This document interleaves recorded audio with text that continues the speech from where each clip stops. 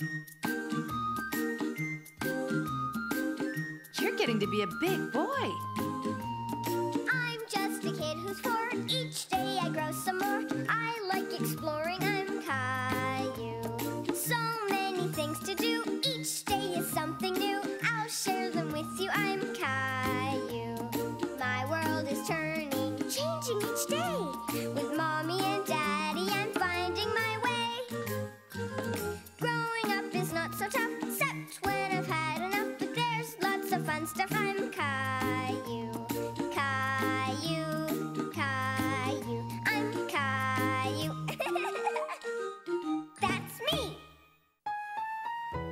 How would you like to hear about Caillou and a very special friend today?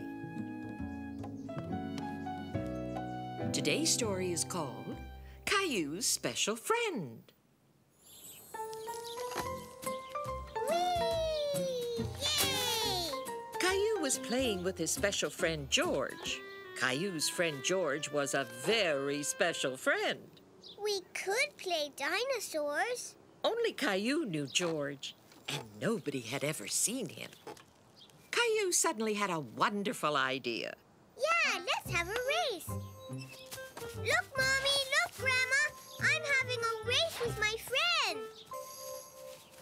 I'm hungry. Why don't you go and tell Caillou it's lunchtime, okay, Rosie? Okay, Grandma.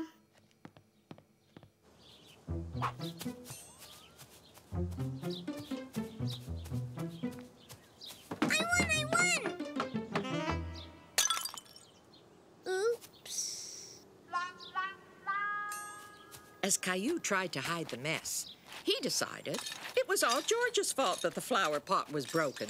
Caillou! Caillou! Caillou! Lunchtime! Coming!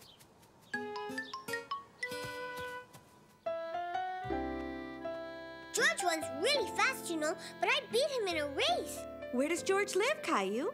I don't know exactly where he lives, Caillou, but I think he lives in our basement. George is probably my bestest friend in the whole world, you know. Caillou, look. We finished eating and you've been talking so much you haven't even touched your food.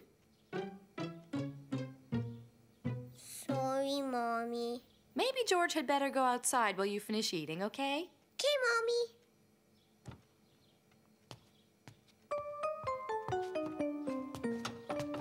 Thank you, George. Caillou will be out soon. See you later, George.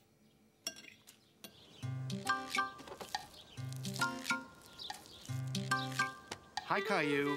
Can you come here for a moment? Do you know anything about this? Uh, uh, George did it, Daddy. Are you sure George did this? Caillou's daddy knew that it wasn't really George who broke the flower pot. Yes, Daddy. We had a race, and George knocked it down.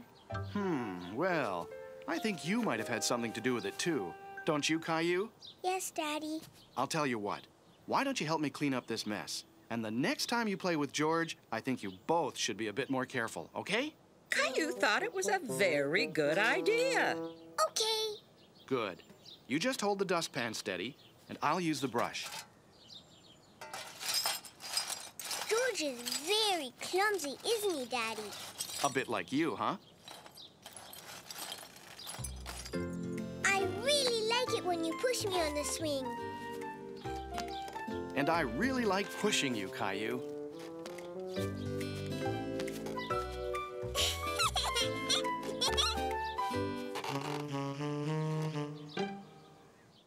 do